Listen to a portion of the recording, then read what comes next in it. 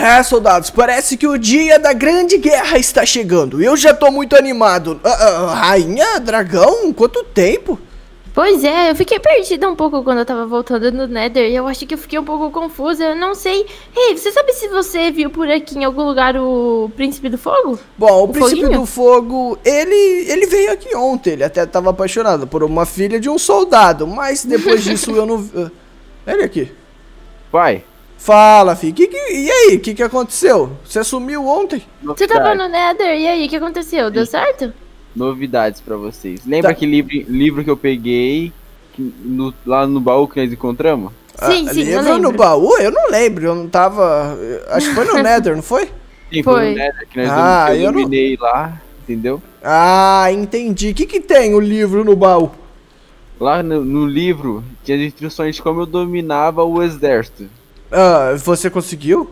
Eu consegui dominar todos os exércitos. Ah, é, é, não, não, não, não, Rainha Dragão, ele tá brincando. É impossível. O, os soldados do mortos, eles são basicamente exclusivamente do Rei do Fogo. Foi ele que fez um pacto eternamente com o antigo Rei dos Mortos. Bom, mas o Foguinho dominou o Reino do Fogo, então basicamente ele é o novo Rei do Fogo, né? Peraí, tinha um livro com as estratégias para dominar o reino, quem deixaria esse livro? Não sei, tava Bom, no baú com um monte de coisa. Tava, tava dentro de um baú. Era um livro bem, bem estranho, tava escrito. Eu não, eu não, lembro o que, que tava, mas era tipo em uma, uma, letra bem grande, assim, era muito estranho o livro. Tá, peraí. Tá, de, deixa eu ver se eu tô entendendo. Não sei se você sabe, Rainha Dragão, mas quando a gente lutou contra o Reino dos Mortos, a gente conseguiu derrotar ele. E logo em seguida ele se juntou com o Rei do Fogo. E aí ele conseguiu dominar o reino dos mortos. Então talvez o rei dos mortos deixou essa instrução pro rei do fogo. Bom, pode ter sido, eu não sei, eu, eu, não, eu não... Agora tá explicado por que a rainha do mal, ela não ficou lá no inferno, porque ela não conseguiu dominar. Talvez ela não encontrou esse livro que o Foguinho encontrou. Cara, mas tava tão fácil, né, Foguinho, pra achar aquele livro? Tá, não é só... Foi bem fácil até. Calma é, aí. Tava dentro de um baú, dentro de, do castelo lá. Só se é. a gente começar a pensar. E se as pessoas, ou alguém, não sabemos quem, queria que o Foguinho encontrasse esse Eu livro? Por isso que deixava. Por isso que ele deixou fácil, vamos dizer assim. Será que foi o Reino dos Mortos? Quando a rainha tentou encontrar ele, não conseguiu. Tipo assim, tava, escondido, tava muito escondido, bem escondido. Ah, tá, Aí... entendi. Bom, ó, o que, que pode ter acontecido? Hum. É o que eu tô pensando. Vê se eu tô ficando maluco. Mas talvez o rei dos mortos, por a rainha do, do mal ter dominado lá, ele deve ter deixado pro foguinho encontrar, porque ele deve estar tá pedindo através disso um pedido de ajuda. Ajuda? O rei dos mortos? Por que ele ia pedir ajuda? Porque ele sumiu e as pessoas estão dominando lá. Talvez ele tá prisioneiro lá no inferno. Então, se o foguinho liberou todos os soldados, então ele liberou o reino dos mortos. É, mas ele só encontrou esse livro porque talvez alguém queria que ele encontrasse. Esse alguém pode ser o rei dos mortos. Cara, então agora faz sentido, hein? Foguinho, eu acho que você vai ter um belo de um inimigo. Uh, ou um inimigo ou um aliado. É, pode ser mais para aliado. Porque se ele queria que eu encontrasse para poder liberar ele. É, acho que tem um pedido de ajuda dele pro Foguinho. Isso. De tipo assim, alguém precisa derrotar a rainha do mal. Ela deve ter feito alguma coisa que ele não gostou. Talvez hum, prender ele. Nossa, então ela tá encrencada, porque o reino dos mortos é muito forte. Lembra que os, os soldados dele derrotou vários soldados seus? Eu lembro. O Rei dos Mortos, ele é muito forte porque ele morre e depois ressuscita. Então, então, e outra coisa, Foguinho, todos os soldados que morrem em uma guerra, eles ficam o quê? machucados, feridos, mortos. mortos. Então, quando ele morre, ele vira ele do seu reino. Do reino. Ah. Isso. Então é por isso, isso é que boa. quando a gente guerrilhou contra os soldados mortos, é, eu fiz vários portais em volta de onde foi a batalha. E quando a gente matou eles, a gente jogou todos eles, os corpos para dentro do Nether, entendeu? pra gente se livrar, porque se a gente deixava eles no chão, eles iam ressuscitar e iam lutar contra a gente. Só que o Rei do Fogo foi muito rápido e por isso que aquele dia eu morri, entendeu? Sim. Sim, é verdade. Porque não tinha como. O, rei dos o reino dos mortos é muito poderoso. E se você acabou de conquistar eles, soube como conquistar ele, você Sim. tá praticamente poderoso demais. Não, nós então... estamos, né? É, isso é, é muito bom, porque a gente conseguiu agora, através de você, um aliado muito poderoso pra guerra. Isso. É, Bom, gente, dizer... eu não sei, eu ainda tô um pouco confusa se ele vai ser um aliado mesmo. Vocês sabem que o Reino dos Mortos, ele nunca foi de grande confiança.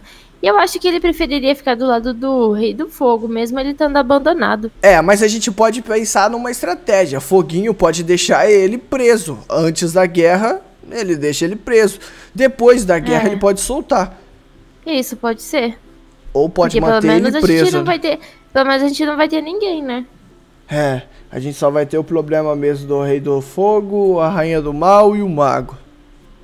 É, já são bastantes. É um problemão já. É, já é um problema. Bom, enquanto a gente vai conversando disso, eu vou cuidar dos meus animais, porque eu preciso de comida para uma guerra muito cansativa. Porque falar para vocês, eu acho que essa guerra vai ser bem tensa no tempo de tipo assim, vários dias de guerra, entendeu? Sim, eu também Bom, acho. Eu acho que a gente poderia começar a pensar em alguma coisa para começar a atacar eles. Já que você falou que vão ser vários dias de guerra, eu tava pensando que talvez a gente pudesse começar a atrapalhar a vida deles. O que, que você acha, Rei? Bom, a gente poderia fazer isso, só que o único problema é que a gente ainda não hum. tem soldados suficientes para isso. Se a gente ah, mandar ah, 100 soldados lá para atrapalhar eles, pronto, a gente nem tem 100 soldados. Como que a gente vai arrumar mais soldados agora? Além dos soldados do foguinho, soldados do gelo ou os soldados dragões? É. Peraí. Rainha, a gente que? esqueceu de uma coisa. Quais são as estratégias para você dominar os soldados, o foguinho? Os soldados? É. Tem alguns, tem alguns requisitos, e se eu não me engano, quando você pega um reino, é, um exército abandonado, você tem um requisito. Fora os outros de como conquistar e fazer as coisas. Para manter eles ao seu lado, você precisa montar uma hierarquia. Tipo, o soldado braço direito, o soldado arqueiro, assim? Isso. E o mais importante, hum. um rei precisa de uma. Ah, uma rainha. E... Verdade. E a a filha do soldado? A filha do soldado, você conheceu ela ontem, cara. Mas daí... Eu não te Bom, contei, né, verdade, né, rainha? Eu acho que não. Eu acho que ele conheceu ela antes. Porque ele já tinha falado que tinha uma pessoa em mente. Eu acho que deve ter sido amor à primeira não, vez. Não, não, não, não, não, não. A gente tava conversando ontem. Aí chegou os novos soldados. O soldado apresentou a filha dele. Ele ficou babando na frente dela. Ai, eu não acredito. Que linda. Ai, que linda. Ai, meu Deus do céu. Bom, Ele vai colocar uma. conversar com ela. Não, não, não, não, não, não. Gente, vocês não estão entendendo. Podemos, podemos conversar com o soldado, né? Com o soldado, pra ver se ele libera, né? Ela vira rainha. Ah, ela então, vira rainha. já daria exatamente o que a gente precisa, uma rainha para um reino novo. Mas vocês não estão entendendo. E se ela for de má fé, a gente vai colocar todo o nosso plano em uma aposta de novo. Você não ela conhece não seus é. soldados? É. Esses soldados chegaram agora, gente. Ah, mas, mas você precisa confiar neles. Se você, se você chama eles pro teu reino, você deve ter confiança neles, né? É, Já sei. Talvez a gente possa passar. rei. a gente pode passar enviar alguns espiões para espionar ela durante uma semana para ver quais são as prioridades dela e a gente pode investigar se ela prefere cuidar da família ou se, se ela vai conseguir ser uma rainha forte, se ela é bem inteligente, se ela estuda estratégias, várias coisas. É, boa ideia, rainha. A gente pode fazer então isso. A gente pode passar os últimos dias que a gente tem antes da guerra olhando ela, percebendo os movimentos dela. E aí sim, se no final der certo, você pede ela em casamento, Foguinho. É, e tá principal, bom. saber se ela é humilde, né? Porque para ser uma rainha precisa ser bem humilde. E o principal, espera, não faça nada na emoção, porque depois você vai se arrepender.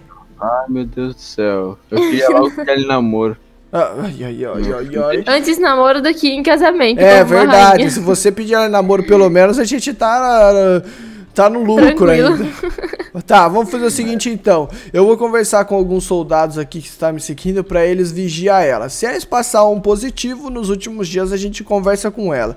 Mas. Mas os soldados precisam ir disfarçados, porque senão vai chamar é, muita atenção. Mas até lá, a gente ainda tem muita dor de cabeça. O foguinho precisa dominar o castelo, precisa dominar os soldados. E tem muita coisa pra gente fazer, coisa. hein, gente? Pelo amor de Deus.